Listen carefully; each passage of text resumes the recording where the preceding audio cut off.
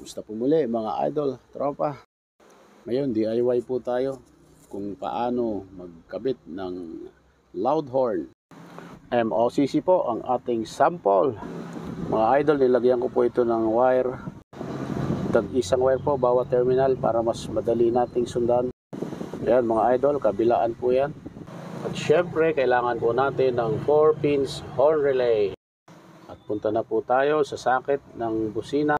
Tanggalin lang po natin yung sakit ng busina. So, dalawang sakit po yon At ito yung magiging trigger ng ating relay. Ayan mga idol. Bali sa relay, ang number 30 at saka ang number 87, ay lalagyan po natin yan ng wire.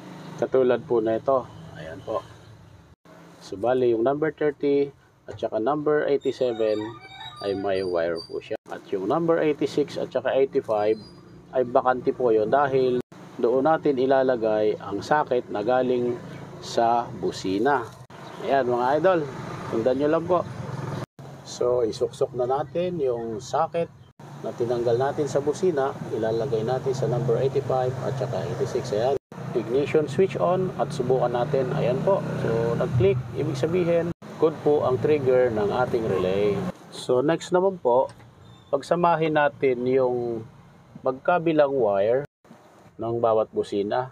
So, ganito po yun. So, bali, ang isang part na pinagsama nito ay pupunta sa number 87 ng relay. At saka yung isa naman na pinagsama ay pupunta ito sa ground. Either sa body ground or sa mismong ground terminal ng ating battery.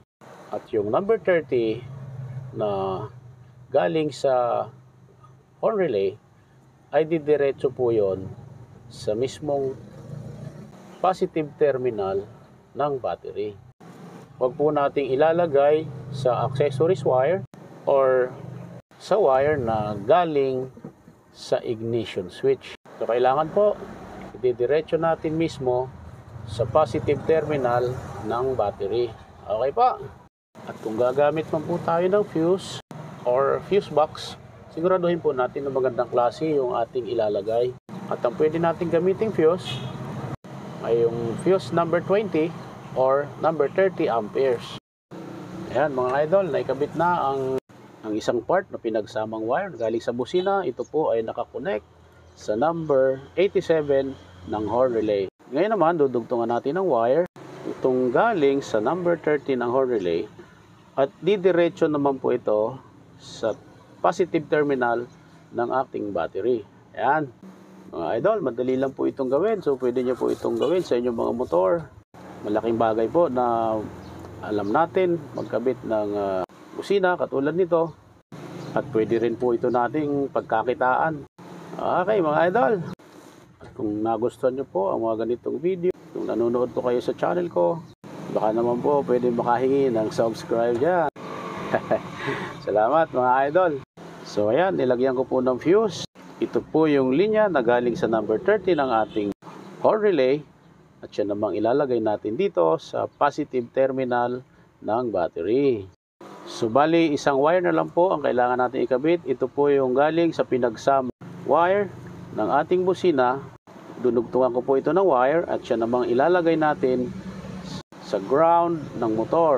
Iririkta natin siya sa negative terminal ng ating battery.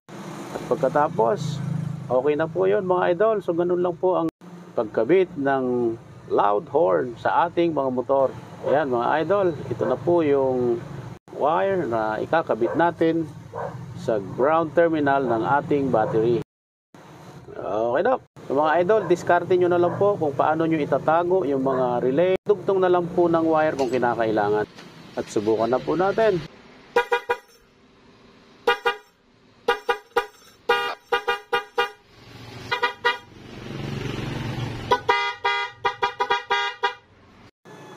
Idol, tropa, salamat po ulit sa panunood. Mabuhay po tayo.